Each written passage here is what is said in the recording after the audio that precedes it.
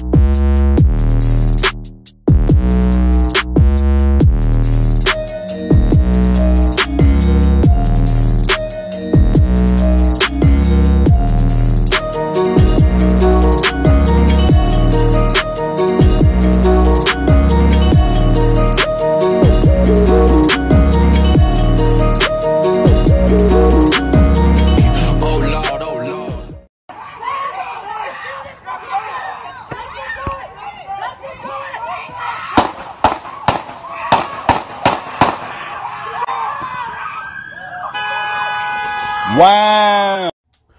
What's going on, YouTube folks out there, Facebook friends, people of Black Junction TV? My name is Odimir, and this is the Hard Black Truth.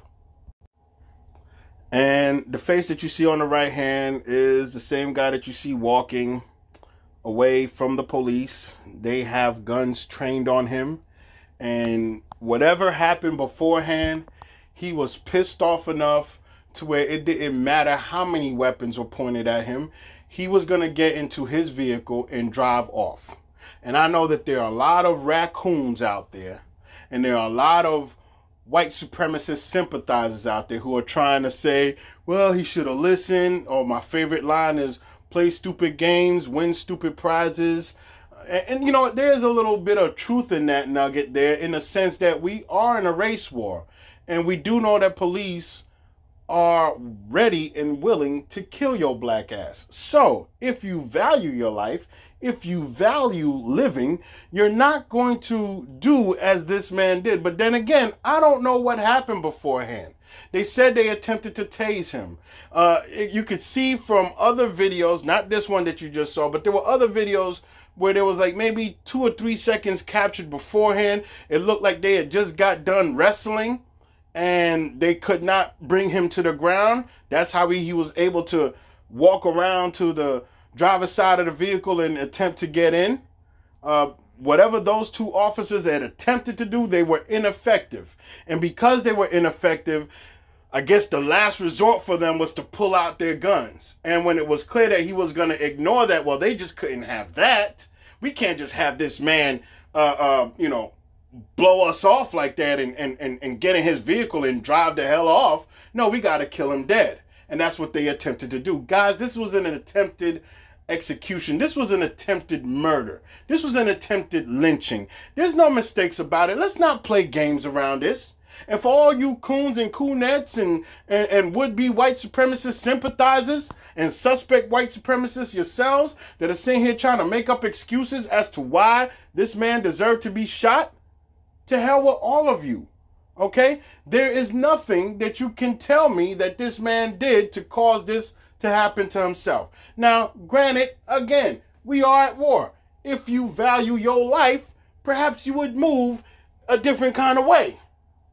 And again, to reiterate, we don't know what happened because the stories are, and this story is going across the board, that he was actually one of the good Samaritans to break up a fight. How do you go from breaking up a fight to all of a sudden police are questioning you, they're tasing you, and then they're shooting you? How does that happen? And I'll tell you why it happened. And I believe personally, if they had body cams to show, but they don't, 2020, and they still don't have body cams. Obama has been long out of office, and these folks out there in Kenosha, Wisconsin, don't have any body cams. How convenient. Similar story with the Breonna Taylor case. No body cams.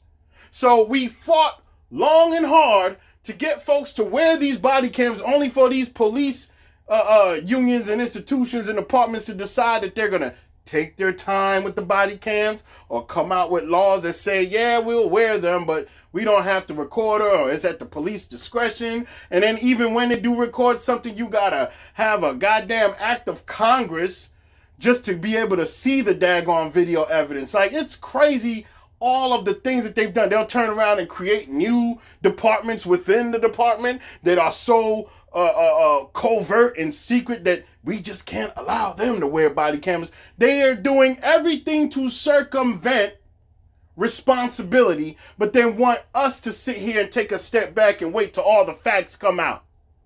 There's nothing else that needs to come out unless those officers can sit here and tell us with a straight face and some cooperating uh, uh cooperating witness testimony that Mr. Blake said he was going to go in his vehicle to get his weapon to shoot them dead, there's no reason for them to do what they did at all. Point blank, period. Throw them in jail, throw away the key, and let, you know, Big Willie have at them. Yes, sir. And I said it just like that. Those, this man had children in his back seat. You don't see him because the windows are pretty tinted. Um, but they're in the back seat probably screaming and yelling. And you mean to tell me you gunned that man down in front of his own children like that? You could blame Officer Betty Shelby because when she killed Terence Crutcher for under under similar situ uh excuse me under a similar set of circumstances, she was able to not only get away with it, but she essentially got a promotion out of it. We are living in the twilight zone when it comes to black folks. Yes, Yes, Twilight Zone. Not only not only was she not arrested, she was actually promoted to instructor over gun safety. Blame Betty Shelby for this. Blame Officer Yanez as he murdered Philando Castile out there in Minnesota in front of his significant other and child in the back seat. You are sitting there gunning down innocent men and women. You're doing it in public. You're doing it in front of children. And then you expect for them to grow up and say, hey, gee, I want to be just like that officer over there. I want to be a cop. Hell to the no. Hell to the no.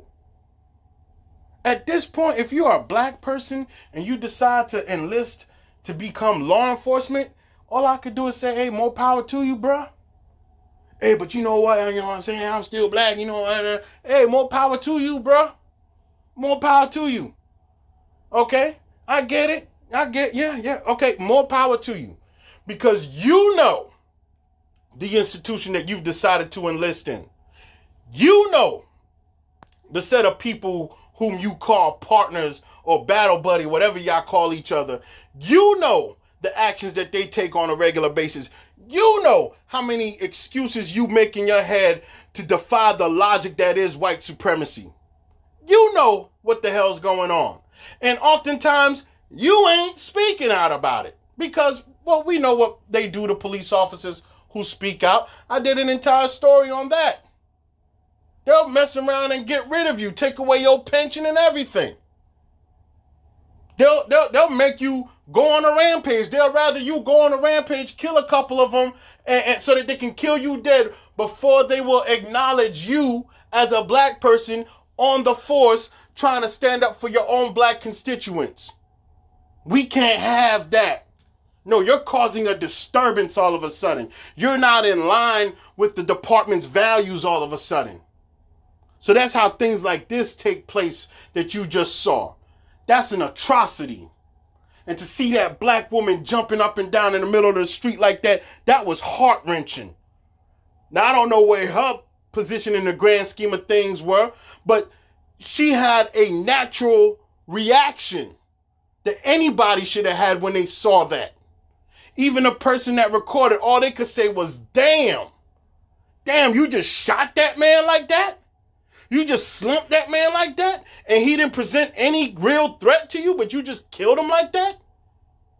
These officers have been allowed to get away with murder. This isn't even a term. This isn't even being hyperbolic. This isn't even exaggerating. They've been able to get with get away with murder now for centuries. Understand centuries and decades that we've been telling you about this.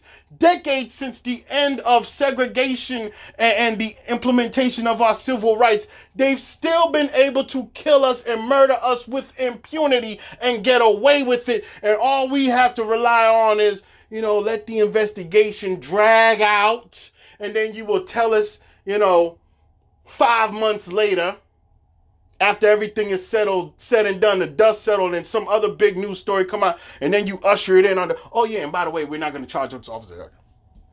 And that's what we're that's what we're left with. No, man.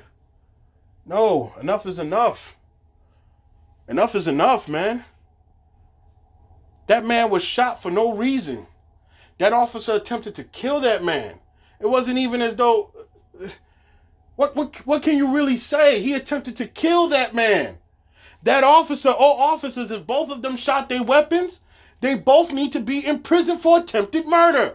Period. You cannot act like that, and you don't need to have this qualified immunity that just, what the hell is a qualified immunity? Some asinine rule that says, you know what, uh, if an officer kills somebody because they perceive the threat, we will just allow them at their word. Hell to the no. No one else gets that. Oh, but but we put these officers in these stressful situations. That's your problem, not mine. So if you put an officer in that position where they have a flight of fancy and decide, oh man, this guy's gonna jump on a rainbow colored unicorn and come down with a bazooka, I better kill him now. No, your ass need to go to prison. Period. Point blank. I don't want to hear about, I don't know what he was doing. You know what I don't know means? It means no. It means literally no. I don't know. If you don't know what he was reaching for, that means you don't know. You don't have a reason to assume that he was reaching for anything. Yet we allow these officers to make all of these foul ass assumptions and shoot people and attempt to kill them. Thank God again that this man isn't dead. Because honestly, when I saw that, I'm like, ain't no way he survived. He got shot at point blank range. He got shot at point blank range, and you mean to tell me there's black folks and white? Well, I, I could expect it from many of the white folks out there. Because there's enough of y'all out there that are just plain old racist.